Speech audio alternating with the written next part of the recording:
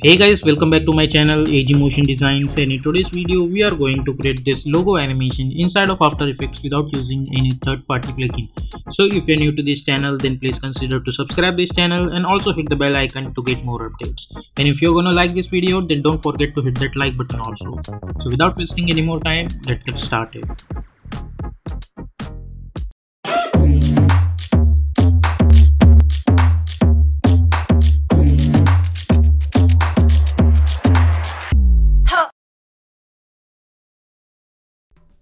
So as always here we are in adobe after effects. Let's create a new composition.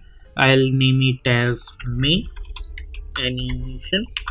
Width is 1920 height is 180 frame rate is 30 and duration we are not going to choose much more duration. So i'm going to choose let's say 30 seconds only. And background color is black color and simply hit ok. Then go to choose grid and guide option and hit on title selection then i'm going to select my text tool and i'll create one text over here for the font. I'm going to choose poppins and bold version i'm going to choose. And let's type your text first like this.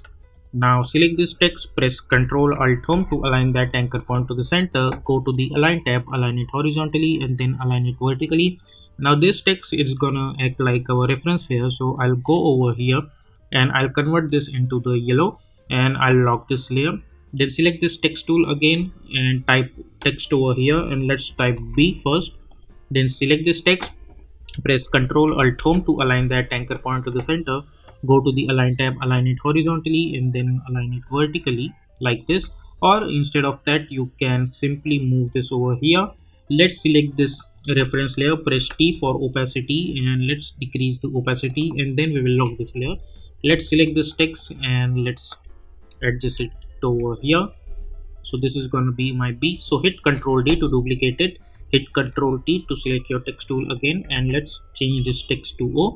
Select this text press p for position and let's bring this over here. Select this text hit ctrl d and let's type your w. Select this layer press p and adjust the position. Let's move this over here. Select this text hit ctrl d press p. Let's call it as l and let's move this over here. Select this hit ctrl d type the text i. Select this press p and let's move this over here. Select this hit ctrl d let's type n. Select this press p and let's move this over here. Select this hit ctrl d let's type g. Select this press p and let's move this over here. Like this. Now we will delete this reference layer. We don't need that. And let's hit u now first of all we will select this o and we will bring this layer at the top. I'll select this o and i'll press ctrl alt home to align that anchor point to the center. I'll select this and i'll choose yellow color for this one. Then i'll select this g and i'll select this and i'll select pink color for this one. And for all of them i'm going to stick with the red color. Now let's go to the shape tools and choose ellipse and for the fill i'm going to choose black color only and simply hit ok. Let's zoom in a little bit. And by holding shift i'm going to create one small ellipse over here. Then select this press ctrl alt home to align that anchor point to the center. Press v let's adjust it over here. Press s and let's increase the size. Select this hit ctrl d to duplicate it and move this over here. Hit ctrl d to duplicate it and let's move this over here. Select all the three layers and make it apparent with this o okay let's make this fit. So we will get this kind of balling stuff over here like this. Okay and yeah this looks good to me. Now you can select all these three dots. You can click on this shy icon over here. If you want to see press simply press f4 to switch between these modes and click on it and lock these layers and you can click on this option. So it will hide those layers okay so we don't need to focus on unwanted layers which are not gonna animate so let's select this. O press p for position. Select this position right click and choose separate dimensions. Create one keyframe on both. Uh, zoom in a little bit or let's delete this y keyframes. We don't need to focus on y position. Let's create one keyframe at x position only. Go to around 20 frames and again create one keyframe now go to the start and I'll bring this totally up to here like this. Okay. Uh, let's go over here and go somewhere around over here. And let's move this layer to at G. Okay. And after few frame forward I'm gonna move this. Select this keyframe hit ctrl C ctrl V so it will come over here so if you see this animation now we will get something like this then like this and then like this. And let's go over here and instead of uh, this is over here what I'm gonna do I'm gonna move this over here. Okay? Like this. Now select those keyframe and hit F9 like this. Now select this O uh, let's go to the last keyframe which is over here and create one keyframe at Y position like this. And hit page down button two times and let's move this keyframe over here. And select this X position also and we will create again one keyframe. So uh, bit, so as you guys can see there are mm, two frame gap between these two keyframes and select those Y position and hit F9 okay? And let's go over here and we will create again one keyframe at Y position. And in middle of that we will bring this thing over here. Select those Y keyframe and hit F9 like this. And now I'll select this X keyframe and by holding shift I'll select this X keyframe also. And by holding control I'll simply click on it so it will remove the ease in ease out effect on them. Now select this Y keyframes. Let's go to the graph editor. Zoom in a little bit right click and make sure that you are in edit speed graph and select this handle. Let's move this handle over here. Make sure to hold shift and move this handle over here. Select this move this thing over here. Select this and move this thing over here. Like this. So we will get this kind of ball bouncing animation. And after that go few frame forward. I'll create one keyframe at y position and in middle of that i'll bring this over here again. So if you hit play we will get a little bit of bounce. Okay.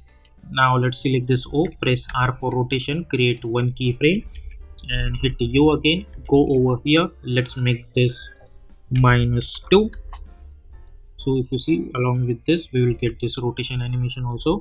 Go over here and let's make this minus 1 this time. Like this and let's select those keyframe and hit F9 let's hide all of these alphabets now so we can only see this ball over here like this. Okay let's go over here i mean over here two frame forward. I'll create one keyframe with rotation. Go over here and let's make this minus 2 again like this. Okay and if you want then you can make this minus 3 also so we'll get two rotations. Okay? So if i see this animation now i'll get something like this and something like this. Okay? Now let's open this G over here and at this point I'm to select this G and I'll move this over here. And let's go a little bit over here like this up to 3 seconds and select this G and press P create one keyframe go over here again create another keyframe go to the start and let's bring this downwards. Now select those keyframes hit f9 go to the graph editor select this graph hold shift move this handle over here and move this handle over here like this. So if you see this thing now we will get it will look like this g is uh, doing this stuff like this. Let's move this a little bit over here okay? yeah now uh, we need some mask for this G to hide. So what I'm gonna do? I'm gonna select my rectangle. Make sure that fill is black. Let's go over here and we will create one mask. Press ctrl alt home to align that anchor point to the center. Let's bring this layer over here. Select this and let's call it as mask and simply hit ok go over here and let's move this thing over here. Select this G press F4 and choose alpha inverted matte okay. So we'll get this kind of stuff. Now this is for this G and stuff. Now we will animate all of them over here. So let's press p for position create one keyframe. Zoom in a little bit go to around 20 frames create another keyframe. Or instead of 20 frame let's go to the 15 frames only create another keyframe go to the start and let's bring this totally downwards. Select those keyframe and hit f9 like this.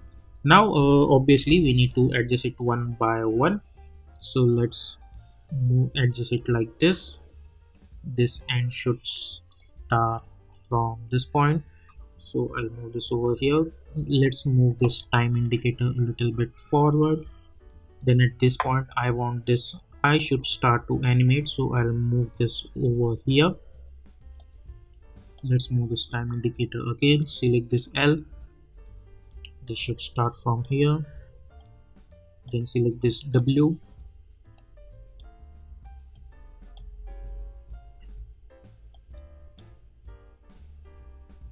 And at this point I want this B should start to animate like this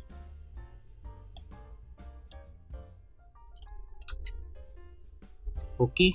Now uh, select all of these alphabets and press ctrl shift C and I'll call it as text and hit ok. And I'm going to select this rectangle and I'm just going to create one mask like this for this text. Okay so if you see this stuff now we will get something like this. Okay uh, select this all of these layers press f4 and enable the motion blur. Double click to open this text comp select all of them and enable motion blur. Press ctrl y to create one solid background and i'm going to choose black color and let's bring this totally backwards. And if you see this now we will get this kind of animation. Okay so this is how you can create simple logo reveal animation or it's kind of text reveal animation also inside of after effects so i hope you guys have enjoyed this tutorial and if you like this tutorial then please consider to subscribe this channel and also hit the bell icon to get more updates. And if you want to create some more interesting animations like this then check out these two videos. I'll see you in my next video. Until then stay tuned